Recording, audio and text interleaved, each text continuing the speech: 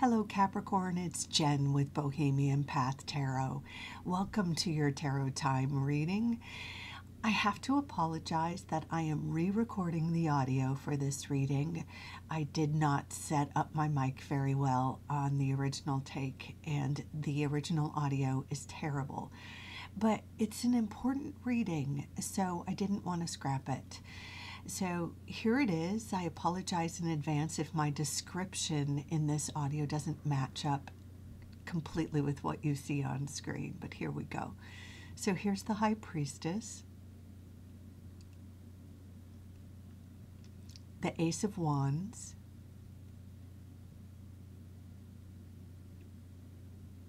the World,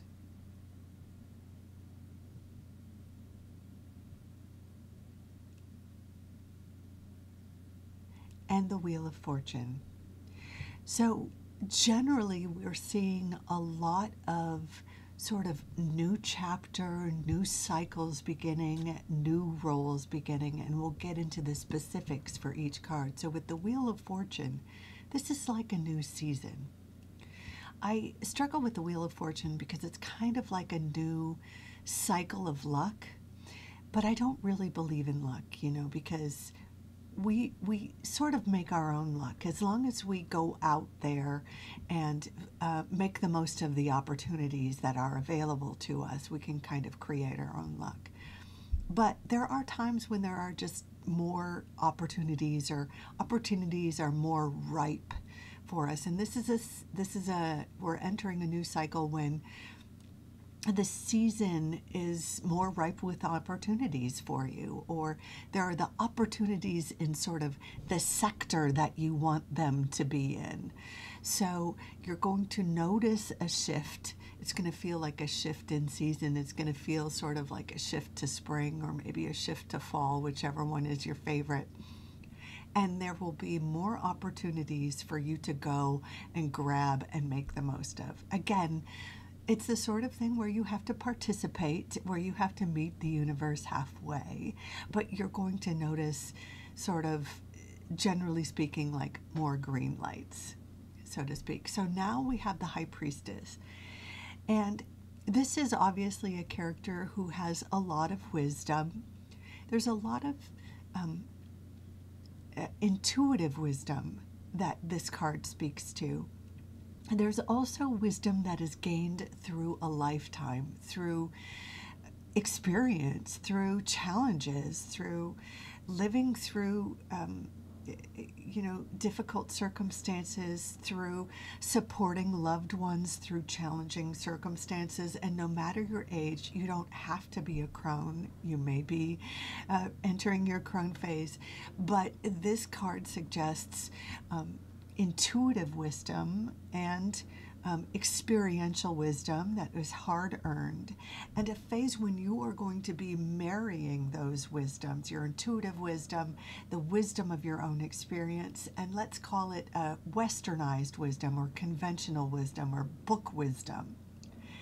And uh, it, this is kind of a mentorship phase for you where it more than it may have a, an element of mothering, but more to a community. So you may become sort of a, a teacher or a, a, mentor of some kind, um, a group leader of some kind. You're sharing your knowledge, maybe um, becoming a doula or maybe even starting your own tarot channel or Reiki channel or going to get your final Reiki degree so you can become a teacher or pass on that knowledge um, or yoga teacher, something of that nature where your own uh, innate gifts, intuitive gifts, and wisdom experience is used to benefit your community, used to help other people evolve and grow. And that's really exciting. Okay, and in this next card, um, we have another sort of new cycle or a sort of a new gateway opening up. And this is in the area of energy and creativity and inspiration and passion. There's an element of like ego involvement here, but obviously not in a bad way. It's it's good to have a healthy ego and a sense of identity and and purpose. So for some of you this is going to be a new chapter in terms of fitness goals or health goals like maybe again it's like going on a yoga retreat or or um, uh, getting a yoga certification it could be literally energy and uh, athleticism sports uh, you know energy in that way. It could be creative and inspirational energy writing a book joining a writing class um, directing a play uh, directing an orchestra something uh, creative. But whatever it is it's something that has um, an inspirational value. It's uh, attached to your identity attached to your purpose and gives you a reason to get up uh, and go, it's somehow attached to this new cycle, this new, um, your own sort of innate wisdom. We're going to get to the world in a moment here, but look at all these circles. Look at all these gateways, these doorways, and all these cards opening up.